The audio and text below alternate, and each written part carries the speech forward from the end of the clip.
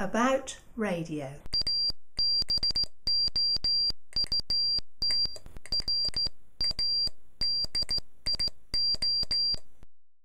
Hi guys, uh, this is uh, one of my toys for today and uh, this is the capacitor off my magnetic loop antenna that I built back in 2009 and uh, I cut the loop for use on 17 meters but I've also had QSOs on 20 meters and 40 meters with it so not a world beater but uh, it's a little aerial that you could easily put together um, but always this uh, tuning capacitor is a, a, bit of a devil because I've uh, tried to tune it remotely with uh, bits of string and all sorts of stuff. Uh, but my little motor drive is going to go on here.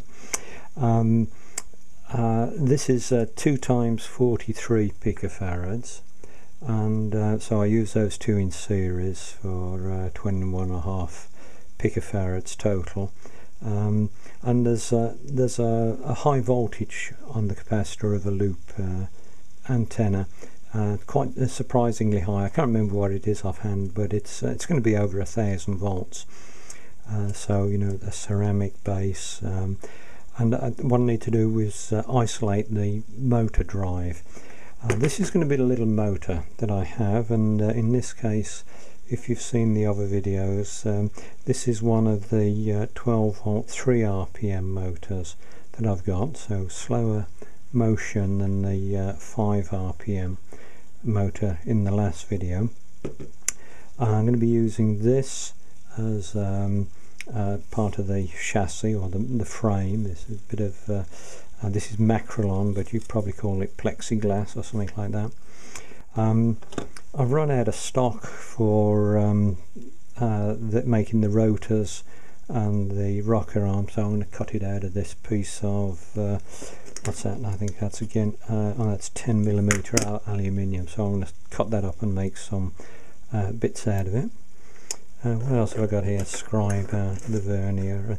Oh, I don't know if you've seen one of these before. This is uh, an automatic dot punch, and it's uh, it's adjustable, so you can have a, what you'd call a light dot or a heavy dot and uh, you line the point up on the where you want to make the mark and then you simply press it and it puts that little dot there I'll give you a close-up of that so I'll just uh, put another dot there. And uh, say it's adjustable. You screw this uh, knob at the end. I've had this tool since I was uh, a teenager. And let's put a, a, heavy dot. And that's really very convenient when you want to get in and do something that's uh, I'll say precision and uh, rather than belting something with a hammer. When I made the last rotor um, all of these tools were somewhere else and uh, I, I, think I wound up using something like a, uh, a Hilti nail and a hammer. But that's, a, that's a really nice tool very helpful.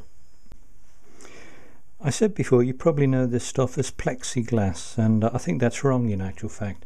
Um, this uh, this material is actually uh, say it's Makrolon but it's uh, it's polycarbonate. It's uh, what they uh, sometimes make um, vandal-proof windows out of. You can throw bricks at this stuff, whereas I don't think you can do that with plexiglass. Okay, you've got a uh, hole for the capacitor and for the motor there. I've got a larger hole there to accommodate this bush there, that bearing, so that will fit there. And I shall bolt through there. And then the uh, capacitor will mount there.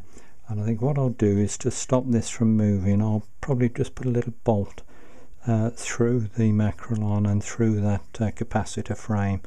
Or I may um, I'll come up with something. Uh, I don't normally like drilling proprietary items as uh, if ever you want to replace it uh, as an ex-service engineer. I hated it when they modified uh, parts in the factory um, and then you get on site and you find you've got to modify it on site and you haven't got the same tools as they've got in the factory. So uh, I would normally sort of design something that fitted on here that fitted on this part to stop it from swiveling. But uh, as I'm doing this for myself I may just bang a hole straight through there but uh, that's the story so far. By the way what I meant to say is I'm not working to um, uh, a finite plan. I'm using materials that I've got out of my junk box but I do know that the distance from the center of the capacitor to the center of the shaft that is 50 millimeters because that's that is a critical measurement for what I'm setting out to do. Um, the uh, the rest of the dimensions I'll give you uh, uh, at the end of the video but uh, the size of this uh, bit of Makrolon I, I, haven't got a clue what it is. I, I haven't even measured it. It's um, let's have a look. It's 46 millimeters.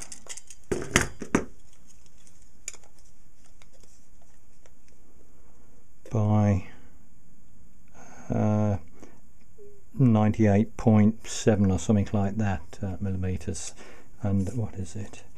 It's 5 millimeters thick. But I say none of that matters. The only critical dimension for this is from the center of that hole to the center of that hole. I've got the uh, motor and the capacitor mounted there. And uh, I decided to put a, a bolt through there. Um, so I just tapped the back of that uh, put a little internal cog washer under the uh, head of the bolt there. Now I'm going to set to and uh, cut out my uh, rotor and rocker arms out of this. And I, I haven't got a, a machine saw here so uh, I'm, I'm going to be using uh, a hacksaw. And uh, I just want you to see that you don't need a fabulous workshop or a lathe or, or anything to, to make this uh, this mechanism and uh, I'm literally making it out of rubbish out of my junk box. So I'm just going to set my vernier at uh, about nine, know, eight and a half millimeters there, and then do that, which is not good practice, but now I've got a, a nice uh, line to, to cut to. And Bruce did Silver Linings, Bradley Cooper's one. Oh, did he? Yeah. You'll notice I, uh, I cut the metal that way rather than cutting it that way. I know if I tried to cut it down the length of it, uh, I, I would run out, I know that. But by starting off with the saw uh, uh like that, um, at least I can only run out across the, uh, the width of it there. And uh, I've cleaned up that face in a fashion with my dreadnought file. That bit of string is uh, my measurement for the focal length. Um, the dreadnought file doesn't clog up. If you try to file aluminium with uh, a fine file like this then it will clog up. Also use that dreadnought to uh, clean up the edge of this um, polycarbonate as well so it, it just acts like uh, like a plane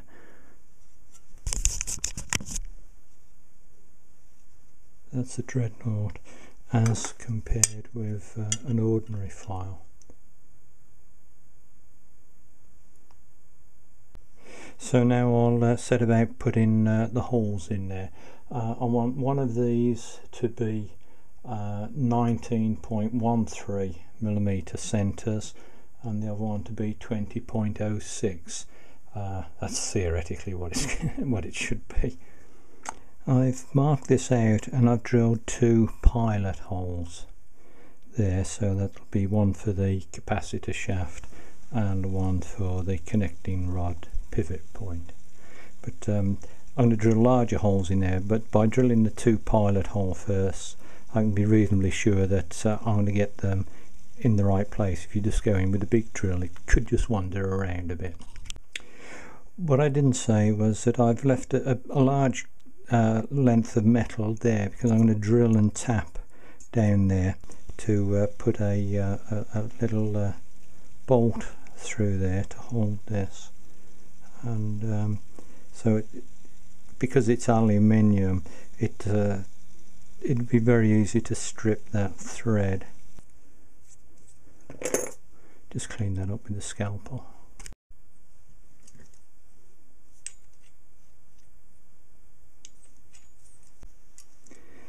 That's the uh, little rocker arm in place. So I'll uh, I need to actually get the sort of angle sorted out once I know where the appropriate mechanism is. And I've got a locking uh, uh, knot and a bolt there.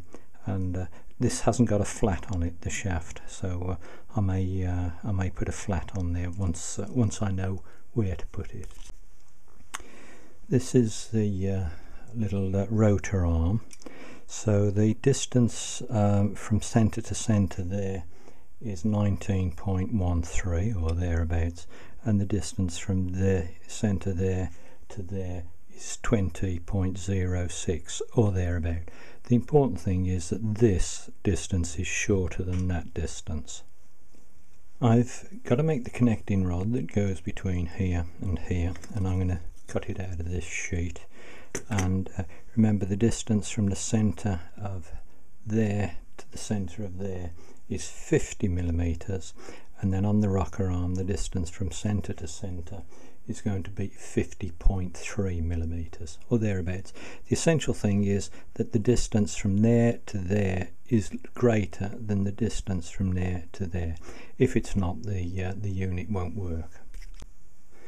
Oh, I've had a bit of luck. I've just found this in my junk box, that, so that'll save me cutting that strip in a previous life uh, when I had a factory of course I had a bandsaw and I, I wish I'd uh, kept all of the scrap that I'd thrown away over the years because uh, this is just an offcut that I've had for years and years in a in the bottom of a junk box and, and now I'm scratching around for uh, bits of material. I've uh, got the uh, connecting rod on. I haven't uh, cut it off yet because uh, if there's something wrong then I, you know, I shall simply drill some other holes and not waste any of it. Um, so that's the sort of movement that I've got now. Well, I've got that bolt undone so as it's not clamped onto the motor because it's a slow drive motor and you can't turn the shaft. So that's the operation I've got there and uh, got a couple of operational issues that I'll, I'll go through with but uh, if I look at this that's the minimum capacitance so hopefully you can see it's just overlapping there.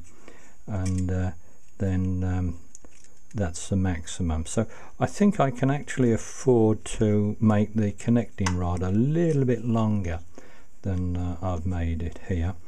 The other issue I've got is I'll just slip this bolt out of here. The other issue is that this shaft uh, when in, you consider the alignment with this other shaft there's uh, uh, there's an alignment issue there. Um, really the capacitor shaft wants to be back there. So what I'm going to do is I'm going to cut the shaft off there somewhere this this little uh, rocker arm can afford to move over to there.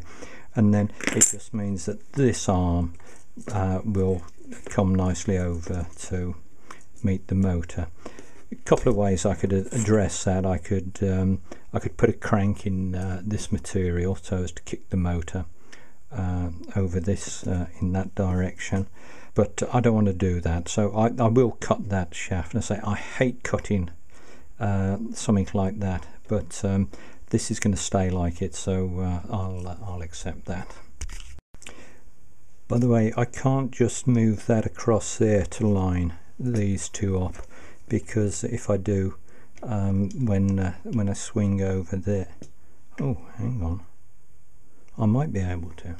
Yes looking at it uh, just put a supply on it just about misses so I can just uh, trim a little bit out of there. As I say, I hate cutting anything that's uh, or modifying a, a proprietary item. Um, there's the finished item. I'm uh, not 100% happy with it yet. Um, but that's uh, the 3 RPM motor